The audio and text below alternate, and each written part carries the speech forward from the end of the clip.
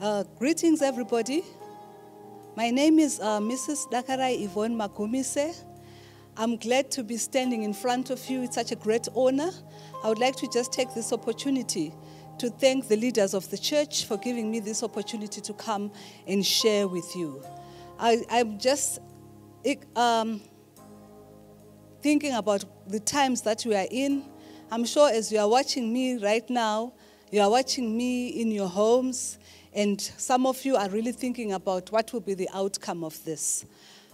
The word that I just want to encourage you with this day is that there may be a lockdown in every aspect of our lives right now. Maybe we are not able to go to, places where we want. We will not be able to do business. We will not be able to gather. We will not be able to do so many things. But I want to encourage you one thing that I know is for sure is that there's no lockdown in heaven. Heaven is open. Amen. The Holy Spirit, the Father, the Son, they are still open.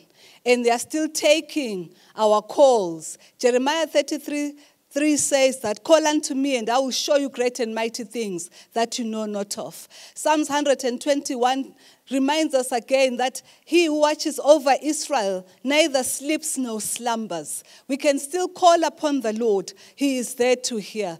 Our, my encouragement to you today, child of God, is that heaven is open and it will never close 24 7.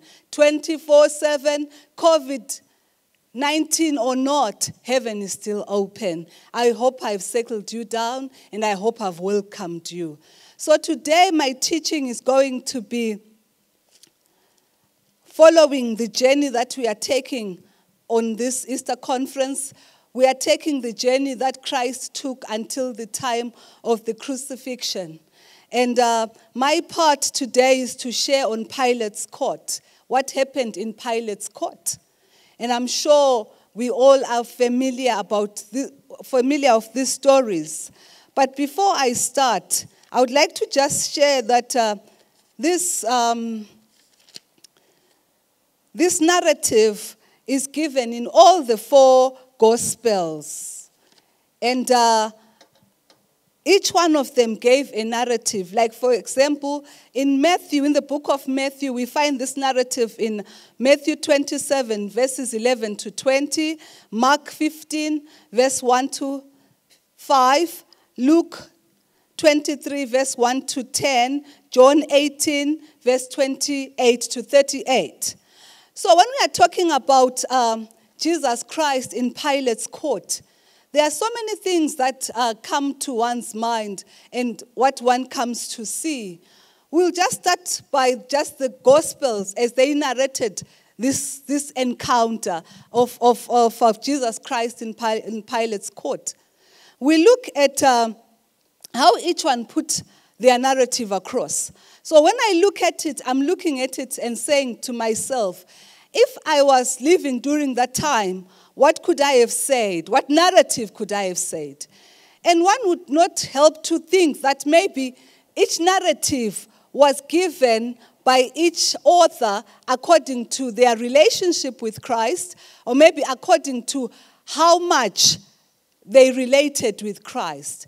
So I just want to just uh, uh, want us to to look at each one of them. Unfortunately, for the sake of time, I will not be able to read each one. I will read only from John. In Matthew, I would pick out what each one spoke about, which was unique. In, in the book of Matthew, that is the only place where uh, Pilate's wife talks about um, Jesus Christ and about how she, she did not sleep about the interve- intervention that she had during that time. And uh, how also Matthew talks about how the Romans soldiers facilitated the crucifixion of Jesus Christ. And then in Mark, apparently Mark gives the shortest account. Mark makes no unique contribution, although he does join Matthew in telling us that Pilate had figured out that, Jesus, that the Jews had turned Jesus over to him out of envy. So, Mark is one person who talks about how the Jews turned Jesus over um, to, to, to, to, for him to be tested because of envy. And this is, we find it also in uh, Mark, Mark 15, verse 10. And Mark only wrote about 20 verses. And the next person we encounter is Luke. Luke's account is about 25 verses long. And uh, in, in Luke alone informs us that Pilate sent Jesus to Herod. Out of the, the four of them, the one who gives us an account of uh, how Pilate sent Jesus back to Herod was Luke. And the longest encounter we find also in John. And John gives us the longest and most detailed of our Lord's um, hearing before Pilate.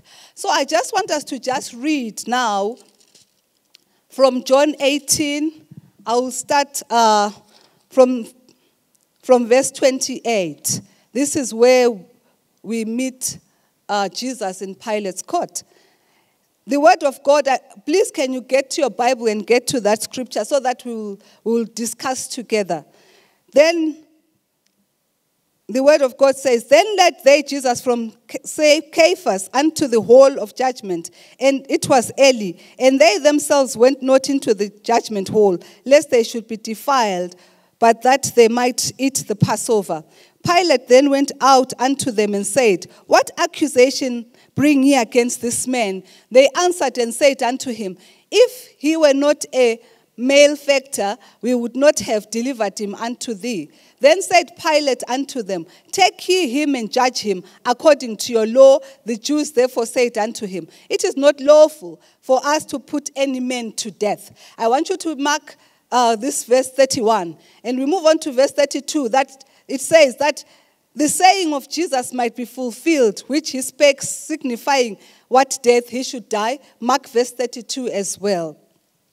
Then verse 33 says, Then Pilate entered into the judgment hall again and called Jesus and said unto him, Art thou the king of the Jews? Jesus answered him, saying, Thou, thou this thing of thyself, or did others tell it thee of me? Pilate answered, Am I a Jew?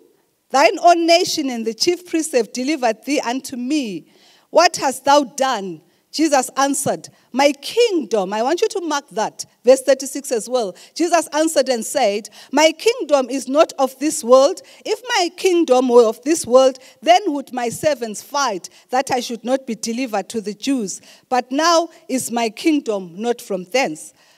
Verse 37 Pilate therefore said unto him, Art thou a king of Art thou a king then? Jesus answered, Thou said that I am a king to this end. Was I born, and for this cause came I unto the world, that I should hear, I should bear witness unto thee, unto the truth. Everyone that is of the truth heareth my voice. Mark verse 37. And verse 38 says, Pilate saith unto him, What is truth? Mark the word that says, What is truth? And when he had said this, he went out again unto the Jews and said unto them, I find in him no fault at all. So, if you get an opportunity to read about this encounter in the four Gospels, you will encounter all those different aspects which I've told you the different authors gave. So, on this particular uh, ministry, I just want to just make you meet the different people that we encounter in Pilate's court. In Pilate court, we come across the Jews, we come across Pontius Pilate himself, we come across Herod, and we come across Jesus and the Roman soldiers. What I want us to really zero in today, I want us to look at the different statements that were made in Pilate's court. And I want you to look at those statements in relation to where you would be, suppose you were in Pilate's court during that time. The four statements that I want us to look at the most are these. From verse 31, I want you to write the first statement as We can't legally put anyone to death. This is the new King James, the new NIV. But, the, but my one says that uh, the Jews therefore said unto him, It is not lawful for us to put any man to death. So we can't put legally we, we can't legally put anyone to death. That is verse 31. That would be my first statement that we'll look at. And then the second statement is from verse 38, where Pilate says, What is truth? I want you to ask yourself where you are is, and ask yourself, What is truth? Amidst what we are going through in this time and in this season, what is truth? And verse 30, the third statement would be from verse 37, where it says, You rightly or correctly say that I am a king. This is what Jesus answered, how Jesus answered Pilate there. He said, You rightly or correctly say that I'm a king. That is from verse 37. This is all coming from John's encounter. Like I've said, we are going to look at John's encounter because it had more detail. And then verse the fourth statement would be from verse 32, where it says, This happened to fulfill the word Jesus spoke, indicating what kind of death he was going to die. Hallelujah. You know, this is a very, very intimate time, especially for us, children of God, even for those of us who do not know Jesus. I'm hoping by this encounter, you'll then understand who Jesus was. The first statement we, we encounter is we cannot legally put anyone to death. What I want you to understand is in this journey, we are now meeting the Jewish people who wanted to have Jesus killed. Because for all this time, the Jewish people were hoping that Jesus would be their Messiah from the Roman rule. Doesn't that sound familiar? because they thought the Messiah had come the one who was working out miracles, who was turning water into wine, the one who was healing them, the one who was feeding them, the one who was meeting their needs had come. But now they get to be disappointed because Jesus talks about a different kingdom that they do not know. So now, remember these people that we are talking about, the Jewish people. They were used to taking justice into their hands. If we read from Acts 7, we see them stoning uh, Stephen. What they really wanted was for them to stone Jesus Christ. But in this case, at this moment, it was going to be very difficult for them to stone Jesus Christ because Jesus was now in the public eye, not only in the Jewish eye, but also in the eyes of the, of the Romans and the other nationals that were there. So they could not stone Jesus. And that was going to just happen without it fulfilling scripture. So we then meet them now when the Sanhedrin has has already arrested Jesus. And the Jews, early in the morning, they go to Pilate's house. Can you imagine? Pilate was sleeping, and now the Jews, I'm sure it was really early, early in the morning, before dawn. And they were saying to Pilate, Come out, come and give us justice. Come and give us justice. What you need to understand is that Pilate was a governor, he was the governor of Judea. Because now the Roman Empire had been divided into different provinces. And uh, initially, Herod had given the different provinces to his children. Because one of them, this is going to tie up with what I'm going to say later, one of Herod's children had not ruled well, so he had to be removed. And in his place, they put in. Uh, they put in Pontius Pilate. So Pontius Pilate was meant to oversee the, the, the, the governance of the Jews in his area. So they went to Pontius Pilate because they wanted Pontius Pilate to bring justice, which they thought he would just rubber stamp. But when we read there, we realize that the Jews stood outside until Pilate had to come out because they did not want to come out. They did not want to go into Pilate's palace because they were afraid of being defiled. Because this, remember, was the time for Passover. This was the Passover season. So they were really wanting this to be done so that they would just quickly go and have a Passover. You know, this reminds me of this time that with what we are encountering, so many people did not want to come to church. So many people did not want to enter into the house of God. I don't know for whatever reason. But we see in this case the Jewish people refusing to enter into Pilate's house. And then Pilate comes, comes out. Because probably they'd frustrated him, waking him up early and saying all sorts. They thought he would just say, Oh, what is it? Just go ahead. But we notice Pilate did not do that. He actually decided to give them time. He, he asked them if they wanted Jesus to be, to be brought under judgment. And, he, and they told him what they felt was wrong with what Jesus done. The person who gives us a, a, a brief encounter of the accusations of Jesus, which Pilate was asking the Jews, saying, Why are you accusing this man? Why are you accusing this man? And then the three things that came out, these come out from Matthew 27.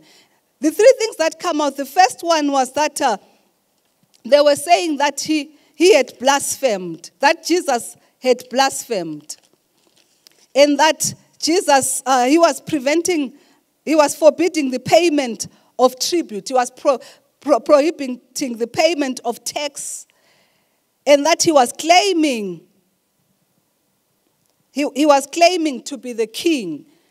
And they thought by saying that they were going to threaten because everybody had to speak right of Caesar. So by claiming that Jesus was king, it was more like saying, oh, we don't want Caesar, we want Jesus. But Pilate decided to listen. And when Pilate had done that, we then realized of, re, re, read of the encounter of how Pilate then in his inquisition realized that he, Jesus was a Jew, and the Jewish people had their own system of, uh, of judging people. So when he realized that Jesus was a Jew, he then asked them to take him to Herod, because Herod was the one in charge. He was a Galilean. Jesus was a Galilean. Herod was the one who was in charge of the, of the, Gal- of the Galilee territory. So when they took him to Herod, Herod was, instead of, uh, of, of wanting to judge, he was actually very inquisitive. I'm sure all his life he wanted to see this Jesus that they were talking about. The encounter tells us that Herod actually went to ask Jesus whether he is the, he is the man who performs miracles. And the question is today, we still see a lot of Herods in our midst. How many of us are still questioning the authority of Jesus? How many of us are still questioning the leadership of Jesus? How many of us are still mocking the work that was done by our Lord? And then Herod, when he realized what was happening, he did not want to give them, the Jewish people, satisfaction. He then said, Take him to Pilate. But we then see in this encounter that for the first time, we are told that Herod and, uh, and uh, Pontius Pilate were common enemies. But this time they had found a common enemy. How many of us become friends because we have a common enemy? This is the case that happened today. I'm just praying that even in this encounter that we are we have a common enemy who is the COVID-19 that the Lord may help us to put our differences aside, like what Herod and, and, and Pontius Pilate, I know it's not a very good example, but to tackle the matter at hand. So Jesus is now taken back to, to, Pilate, to Pilate's court. And then let's go to the next statement. What is the truth?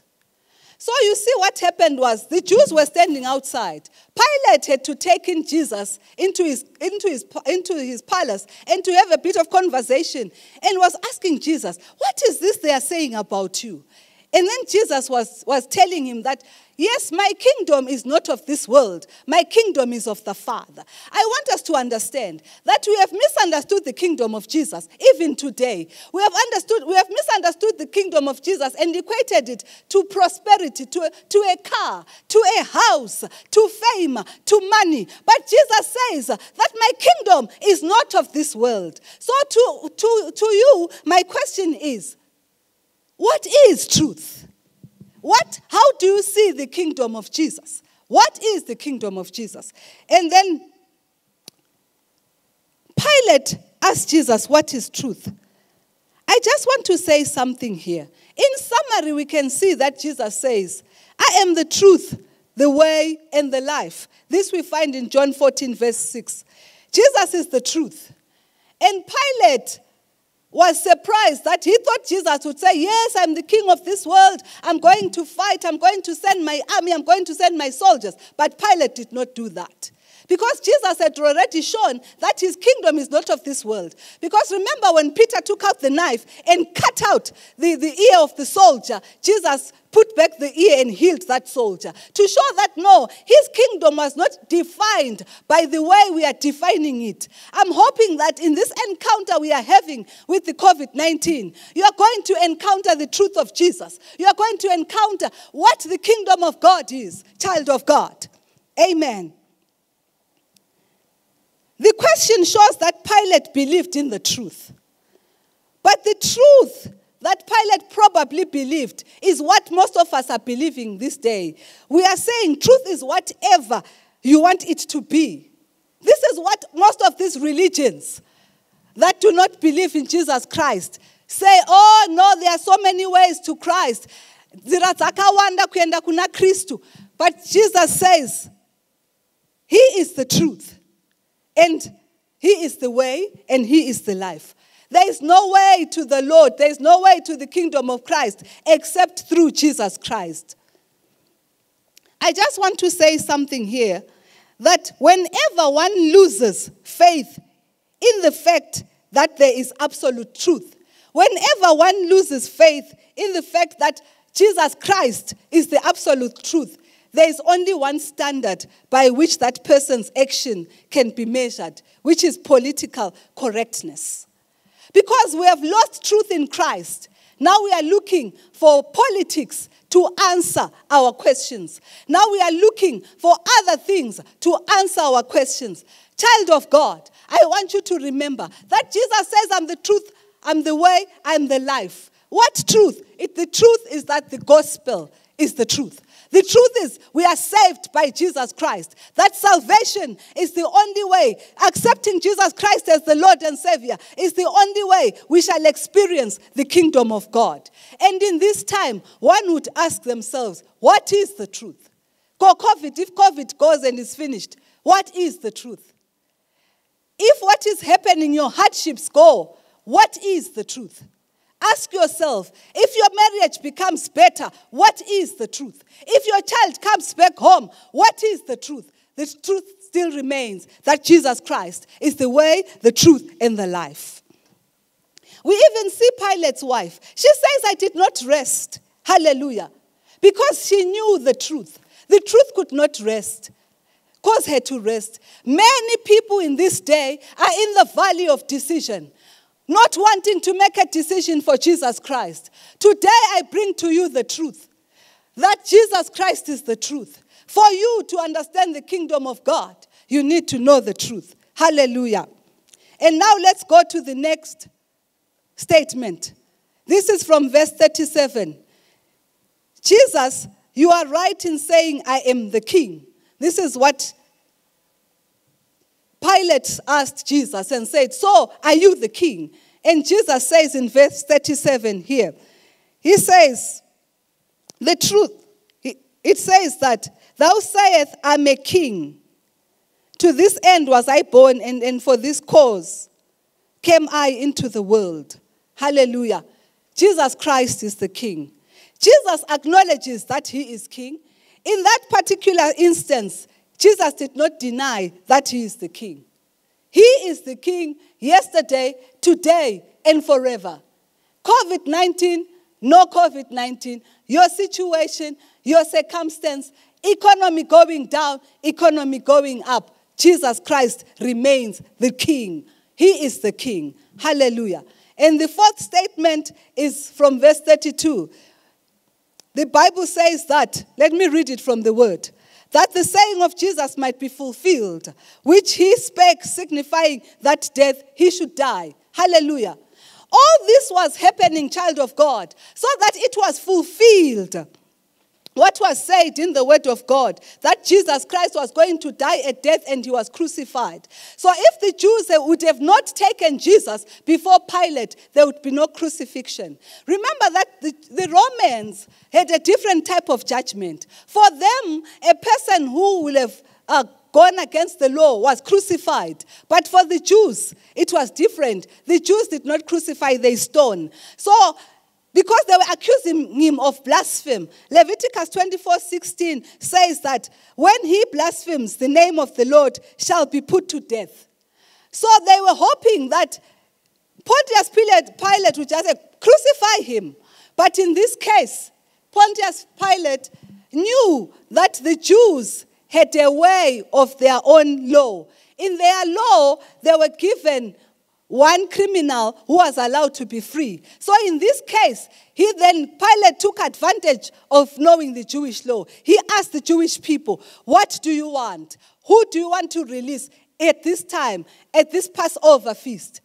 Pilate was hoping, after all his investigations, he had noticed that Jesus was free. He was hoping that uh, they would say Jesus because Jesus had not committed any crime. And he was also trying to live with himself after what his wife said.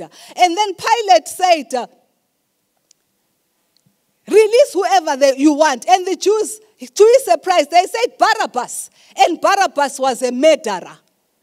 So Barabbas was released. But Jesus Christ had to go and fulfill what was written by the prophets in the word of God that Jesus had to die a death of crucifixion. So when we, according to the scripture, we then realize that Jesus had to be crucified, which was according to Roman judgment. So we thank God that Jesus was crucified. We thank God that Jesus died on the cross because it is at the cross that a Gentile like you and me, that a sinner like you and me has been delivered to be allowed to stand before the Father, to be allowed to be able to call God Abba Father. Amen. To be allowed to be called the children of God. We thank God for such a time, child of God. But before I close this session, I just want to ask you a question. I want you to be honest with yourself. How many times have you brought Jesus to Pilate's court? How many times have you brought Jesus to judgment? How many times?